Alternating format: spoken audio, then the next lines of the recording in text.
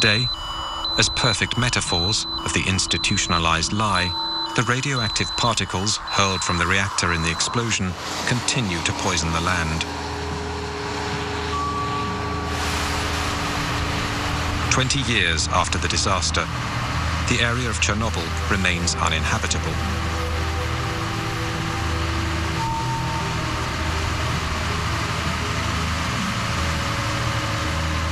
Земле, если попадают радионуклиды, то в Земле In five years, the radionuclides sink five centimeters into the contaminated soil. So, 20 years later, they're 20 centimeters under the ground. They continue to contaminate all the plants. To clean it up, we'd need to remove 20 centimeters of soil and seal it underground in burial sites. And that's too big of a job to do. It's impossible.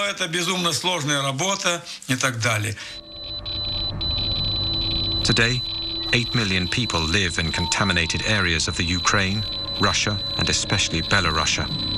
For 20 years, they've lived off the radioactive food that continues to contaminate them little by little. This issue, raised in 1986 by the Soviet delegation at the Vienna Conference, has been systematically ignored. And yet, 1,152 children were treated for thyroid cancer between 1986 and 2002 at a specialized center in Minsk. How many in other cities? No global statistics have yet been made public. One doctor, Yuri Bandazhevsky, has been studying illnesses among the populations in the contaminated areas ever since the disaster. When his findings were published in 1996, they were immediately condemned. Arrested and officially sentenced for corruption, he spent the next five years in jail. In November 2005, he was still under house arrest. Look what happened when the mother was contaminated with cesium during pregnancy. In one single family. Look how many deformations, hare lip, missing eyes, deformed skulls. These embryos come from hamsters that were fed only contaminated grass from the region of Gomel. The result? Entire litters of deformed animals. I was horrified by how many deformed embryos developed in animals that had eaten cesium-contaminated food. I obtained a horrible number of deformations in two weeks. Usually, when you encounter a monster, you describe it. You're certainly familiar with Peter the Great's Kunstkamera Museum in St. Petersburg. Quite frankly, I myself could create as many monsters as I wanted.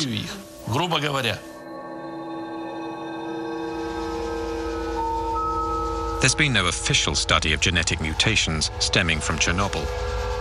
Yet despite the thousands of miscarriages and abortions that took place following the disaster, there seems to be hundreds of children who suffer the effects of radiation. The deformations we see among these children are similar to those of Bandazhevsky's hamsters. In Belarusia, 300,000 children are currently suffering the consequences of contamination. NGOs like the International Green Cross, founded by Gorbachev after he was sidelined from the government in 1991, have opened treatment and support centers for victims of Chernobyl. They also organize therapeutic camps aiming to teach the new generations in contaminated areas how to live with radioactivity. Like here, testing the contamination of their food How many years is this going to go on? 800 years? 800 years. Until the second Jesus Christ is born. Until his return? Yes. Chernobyl played an important role for us all. And of course, we must keep searching and not skimp on means. We must strengthen international cooperation and create international scientific centers to find new sources of energy which are safer. That's the essential issue. I wouldn't wish for anyone, not my friends or my enemies, to experience such a tragedy. No one deserves to live through what we did in Chernobyl. We're all human beings, and no one deserves that.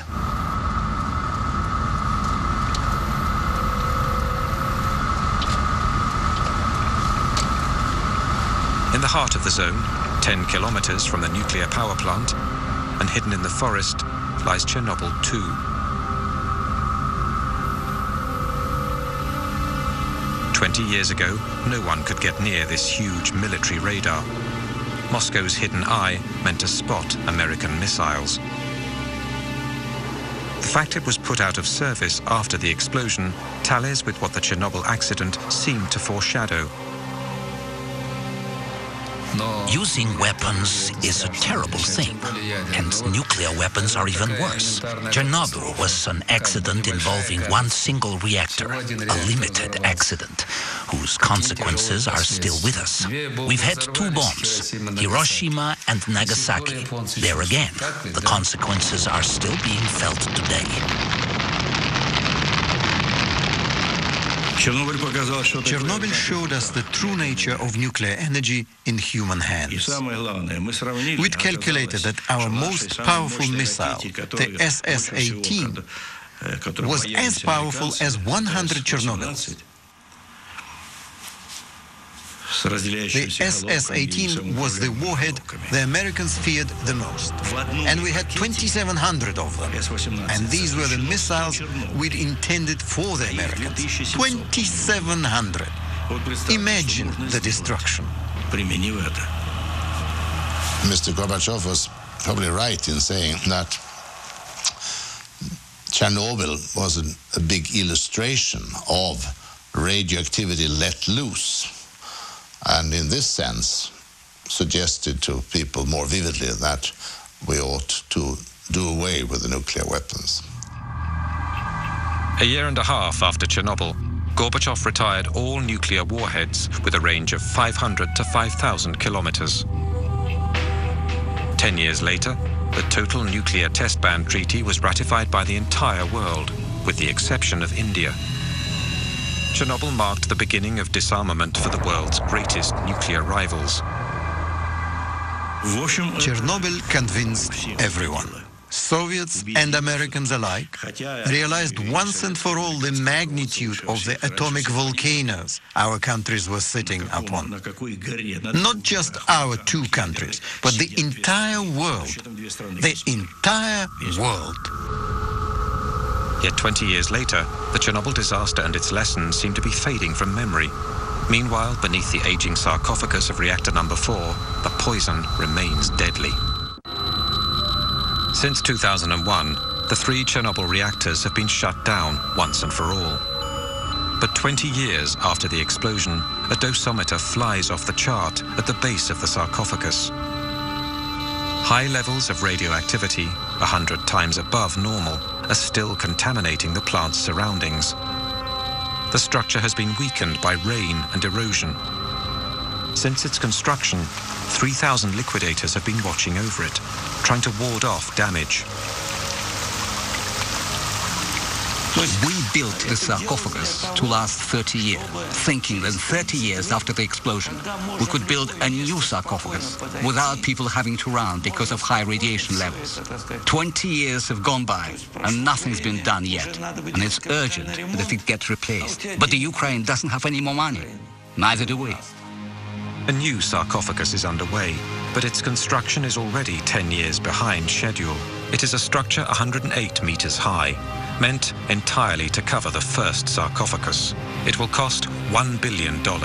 An international fund led by Hans Blix has been set up. We still are have not put the new sarcophagus on it. It will be ready in a couple of years' time. When that is done, well, then they can, in due course, later on remove uh, the uh, masses of uh, spent fuel or of melted fuel which is there.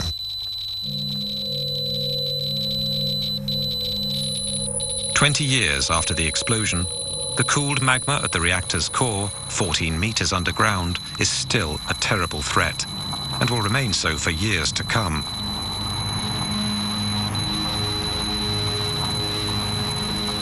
I pray God the sarcophagus never collapses. That would be the worst thing that could happen, because inside there are 100 kilograms of plutonium, one microgram is the lethal dose for a human being.